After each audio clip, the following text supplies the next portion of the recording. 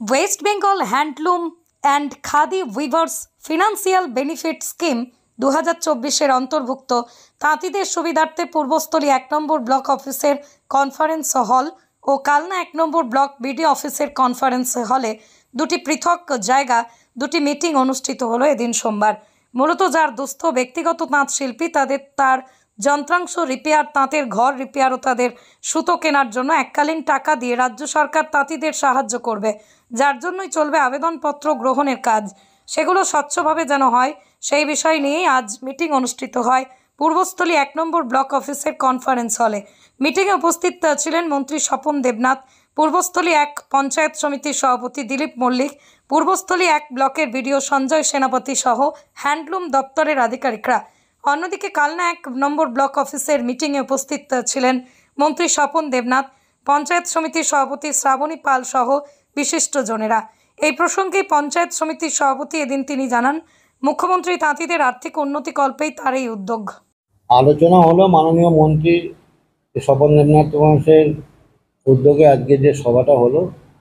সভাটা আমাদের বিভিন্ন, আমাদের সব পঞ্চায়েতের প্রধান, উপপ্রধান পঞ্চায়েত সমিতির কর্মাধ্যক্ষ সকলকে বিডিও সাহেব এবং হ্যান্ডলুম অফিসার যিনি ছিলেন যে মাননীয় মুখ্যমন্ত্রী মমতা বন্দ্যোপাধ্যায়, আমাদের রাজ্য সরকারের পক্ষ থেকে জানেন যে পাঁচশো কোটি টাকা বরাদ্দ করা হয়েছিল তাঁত শিল্পের উন্নয়নের জন্য। তার মধ্যে একটা হচ্ছে যে যারা দুস্থ তাঁত শিল্পী, যাদের তাঁত আছে তাদের তাঁত রিপেয়ারের জন্য তাঁত এবং পাঁচ হাজার টাকা তাঁত অথবা তাঁত ঘর এবং দশ হাজার টাকার সুতো, এককালীন। এটা দেয়া হবে তাঁত শিল্পীরা যাতে তাদের নিজেদের কাজে লাগাতে পারেন এবং তাঁত শিল্পের উন্নয়ন হয়। এ বিষয়ে বিস্তারিত আলোচনা হলো এবং প্রধানদের নির্দেশ দেওয়া হলো, তাদের তত্ত্বাবধানে এই ফর্মগুলো ফিল করা হবে। প্রধানরা তাদের সেই ফর্মগুলো একত্রিত করে পঞ্চায়েত সমিতিতে পাঠাবে, পঞ্চায়েত সমিতি জেলায় পাঠাবে। এটা আবার জেলা ক্রস চেকিং করবে যে সঠিক আছে কিনা।